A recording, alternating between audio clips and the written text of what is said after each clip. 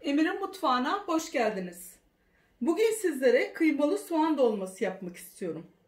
Malzemeler 6 adet orta boy kuru soğan 350 gram kıyma 1 su bardağı pirinç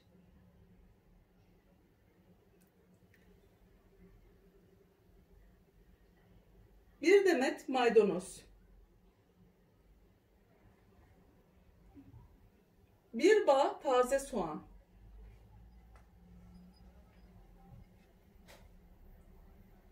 Bir tatlı kaşığı dolusu tuz.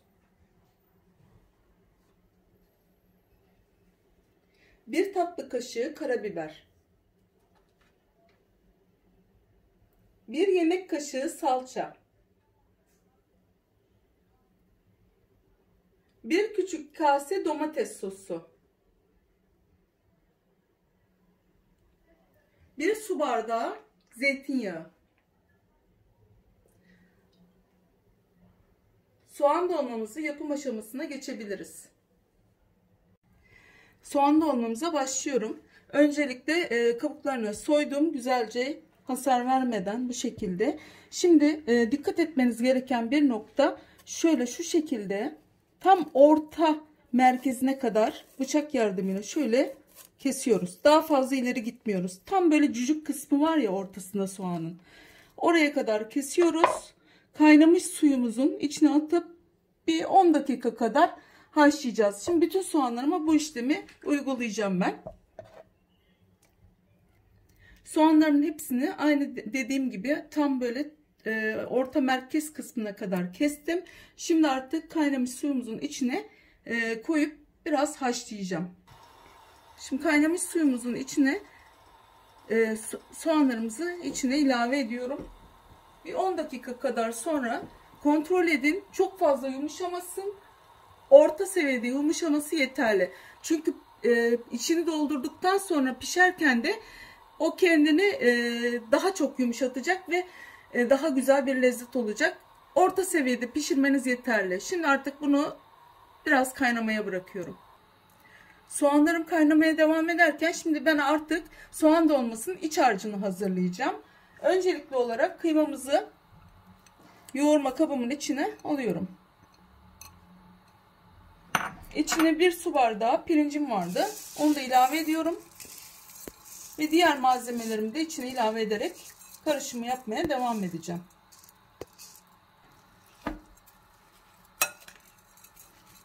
İyice bir karıştıracağım. Ee, siz pirinç miktarını istediğiniz arzunuza göre çoğaltabilirsiniz. Kıymayı da koymayabilirsiniz. Bu tamamen kendi tercihiniz. Şimdi içine diğer malzemelerini ilave edeceğim. İçine bir tatlı kaşığı dolu dolu tuzum var. Onu ilave ediyorum. Bu tuz bunun için yeterli. Siz tuz miktarını da damak tadınıza göre değiştirebilirsiniz. İçine karabiberimi ilave ettim. Zeytinyağının hepsini kullanmayacağım. Bir kısmını bunun içine bir kısmını da pişerken kullanacağım. Bu kadar yeterli. Biraz da böyle karıştıracağım. İçine e, domates sosum vardı. Onu da ilave ediyorum. Bu da ayrı bir lezzet veriyor bu dolmayı. Hepsini ilave ettim. Küçük bir kase yeterli bunun için. Karıştırmaya devam ediyorum. Görüyorsunuz çok güzel bir e, dolma harcımız olmaya başladı. Taze soğanımız vardı. Taze soğanımızı da içine küçük küçük doğrayarak ilave ediyorum. Maydanoz da küçük küçük doğrandı. Onu da içine ilave ediyorum. Şimdi güzelce karıştıracağım artık.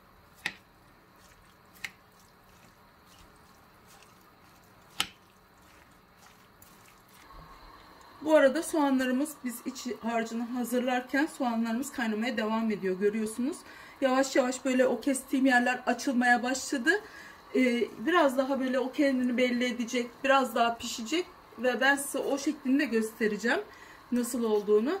Şimdi artık bırakıyorum biraz daha kaynasınlar. İyice iç harcımı karıştırdım.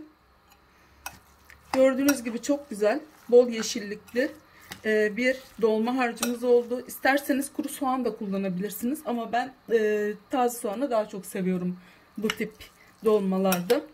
Çok daha güzel lezzet veriyor. Evet bu bunun bu kadar karışması yeterli. Artık iç harcımız hazır. Soğanlarımız güzelce kaynadılar ee, ve artık açıldılar güzelce ağızları görüyorsunuz. Şöyle göstermek istiyorum size. Çok sıcak. Ee, kendi kendine açıldı bu kaynadıkça. Soğanları soğumaya aldım. Biraz soğusunlar. Ee, nasıl açılacağını, nasıl e, dolduracağımızı ben size ileriki aşamalarda anlatacağım. Soğanlarımız soğudu. Şöyle de size göstereyim. Böyle yumuşadı. Şimdi artık bunları tek tek katlarını çıkararak ayırıyorum. Yavaş yavaş sarlarını ayırarak katlarını çıkarıyorum. Yine de iç kısımları sıcak ama görüyorsunuz böyle bu şekilde çıkacak. Hazırlıyorum ben artık doldurmak için. Böyle bu şekilde e, yapıyorum. Cücüklerini de kesinlikle atmıyorum. Onları da içlerine yerleştireceğim. Soğanlarımızın içlerini doldurmaya başlıyorum artık. Şöyle içine bir parça alıp zaten artık o kendinden şu şekilde görüyorsunuz. O kadar güzel oluyor ki lezzeti de çok güzel. Siz de bu şekilde soğan dolmaları yapabilirsiniz. Başladım. Şöyle içine hemen doldurup İstediğiniz kadar koyabilirsiniz içini. İçini çok da doldurabilirsiniz. Az da doldurabilirsiniz. Tamamen kendi tercihiniz. Şöyle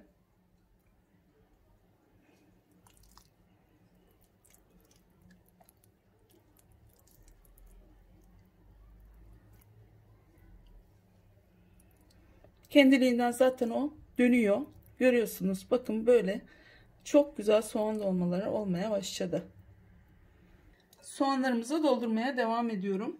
Görüyorsunuz çok güzel. Görüntüleriyle harika, tadıyla harika soğan dolmalarımız olmaya devam ediyor.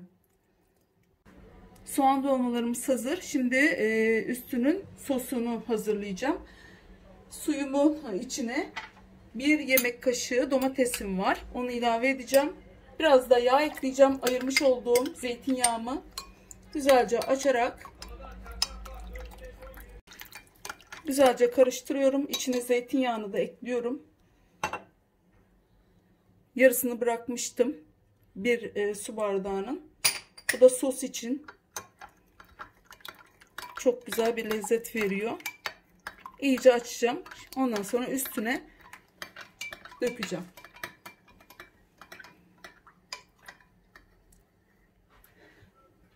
Güzelce açtım. Şimdi sosunu üstünden gezdiriyorum e, yarısına kadar olması yeterli suyunun. Çok fazla su kullanmayın. Evet bu kadar su yeterli. Şimdi artık e, pişirme aşamasına geçiyorum. Ocağımızı aldım. Şimdi kapağını kapatarak kısık ateşte pişiriyorum. İlk önce biraz kaynayana kadar harlı ateş daha sonra kısık ateşte pişiriyorum. Dolmalarımız oldu. Birazcık e, soğumasını bekleyeceğim. Sunum zamanı. Soğan dolmalarım oldu. Gördüğünüz gibi çok güzel oldu. Tam bir lokum kıvamında. Siz de bu tarifi deneyerek e, yapabilirsiniz. Kanalımı takip etmeyi, yorum yapmayı, beğeni yapmayı, paylaşmayı lütfen unutmayın. Afiyet olsun.